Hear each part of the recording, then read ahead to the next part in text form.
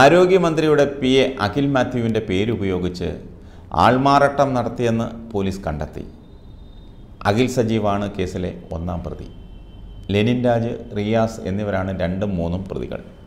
ഇവർ മൂവരും ചേർന്ന് ഹരിദാസിനെ വഞ്ചിച്ച് ഒന്നേ മുക്കാൽ ലക്ഷം രൂപ തട്ടിയെടുത്തുവെന്നും റിപ്പോർട്ടിൽ പറയുന്നു. ആരോഗ്യമന്ത്രിയുടെ പേഴ്സണൽ സ്റ്റാഫ് അംഗത്തിനെതിരെ ആരോപണം ഉന്നയിച്ച ഹരിദാസന്റെ ഒളിവ് ജീവിതത്തിൽ ദുരൂഹതയുമുണ്ട്. റയീസിനെ കന്റോൺമെന്റ് പോലീസ് ഇന്നലെ അറസ്റ്റ് ചെയ്തിരുന്നു.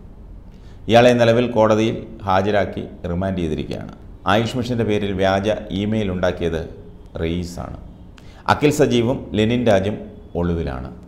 മന്ത്രി ഓഫീസിനെതിരെ ഉന്നയിച്ച ആരോപണങ്ങളെല്ലാം തകർന്നതോടെയാണ് ഹരിദാസൻ ഫോൺ സ്വിച്ച് ഓഫ് ചെയ്ത് മുങ്ങിയത്.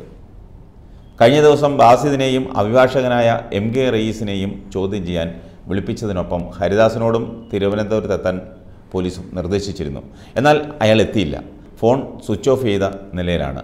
ഇപ്പോൾ വിളിച്ചാൽ കിട്ടുന്നതുമില്ല അയാൾ വീട്ടിലുമില്ല. അന്വേഷണത്തെ വഴിതെറ്റിക്കാനുള്ള ശ്രമമാണ് ഹരിദാസൻ നടത്തുന്നത്. സെക്രട്ടേറിയറ്റ് പരിസരത്ത് വെച്ച് കൈക്കൂലി നൽകിയെന്നായിരുന്നു ഹരിദാസന്റെ ആദ്യ മൊഴി. സി സി ടി വി ദൃശ്യങ്ങളിൽ പണം നൽകുന്ന ദൃശ്യങ്ങളില്ലെന്ന് കണ്ടെത്തിയതോടെ അത് തിരുത്തി.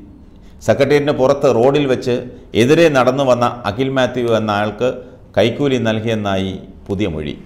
റോഡിലെ സി സി ടി വി ദൃശ്യങ്ങളിൽ നടത്തിയ പരിശോധനയിലും ഹരിദാസൻ പറയുന്നത് പ്രകാരമുള്ള ദൃശ്യങ്ങളില്ല. ആൾമാറാട്ടം നടത്തി ഹരിദാസനിൽ നിന്ന് പണം തട്ടിയെടുത്തതാകാമെന്നാണ് പോലീസ് സംശയിക്കുന്നത്. ഇത് നേരത്തെ പോലീസ് സംശയിക്കുന്ന കാര്യമാണ്. എന്നാൽ സെക്രട്ടേറിയറ്റ് പരിസരത്ത് ആർക്കും പണം കൊടുത്തിട്ടില്ലെന്ന് പോലീസിന് ബോധ്യമായി.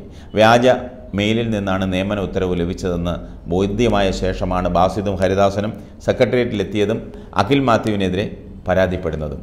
ഇത് എന്തിന്? ആ ചോദ്യം അവശേഷിക്കുന്നു. അഖിൽ മാത്യുവിന് പണം നൽകിയിട്ടില്ലെന്ന പരാതി തുടക്കത്തിൽ ഉന്നയിച്ചതുമില്ല. പിന്നീട് നൽകിയ പരാതിയിലാണ് അഖിൽ മാത്യുവിന് പണം നൽകിയെന്ന് ഹരിദാസൻ പറയുന്നത്. അഖിൽ മാത്യു നൽകിയ പരാതിയുടെ അടിസ്ഥാനത്തിൽ നടത്തിയ ചോദ്യം ചെയ്യലുമായി സഹകരിക്കാൻ ഹരിദാസൻ തയ്യാറുമായില്ല. ഹരിദാസന്റെ ഒളിവ് ജീവിതത്തിൽ അടിമുടി ദുരൂഹതയാണ്. അഖിൽ മാത്യുവിനെ ഇതുവരെ ഇവരാരും വിളിച്ചിട്ടുമില്ല. അഖിൽ മാത്യുവിന്റെ അക്കൗണ്ട് പോലീസ് പരിശോധിച്ചെങ്കിലും പരാതിയിൽ പറയുന്ന തരത്തിലുള്ള ഒരു ട്രാൻസാക്ഷൻ അതായത് ഒരു പണമിടപാട് അതിൽ കണ്ടെത്താനുമായില്ല. പ്രതികളുടെ ഫോണിലേക്ക് ഹരിദാസന്റെ മരുമകളുടെ അക്കൗണ്ടിൽ നിന്ന് ഗൂഗിൾ പേ വഴി പണം അയച്ചിട്ടുണ്ട്. അതവർ സ്വീകരിച്ചിട്ടുമുണ്ട്.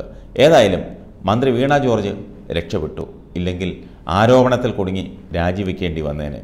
ഇതെല്ലാം പറയുമ്പോഴും എന്തിനാണ് ആരോഗ്യമന്ത്രിയുടെ ഓഫീസിനെതിരെ ഇങ്ങനെയൊരു ആരോപണം ഉന്നയിച്ചത്? ഇത് ആരുടെ തിരക്കഥയാണ്? ഇതിന്റെ പിന്നിൽ ആരൊക്കെയാണ്?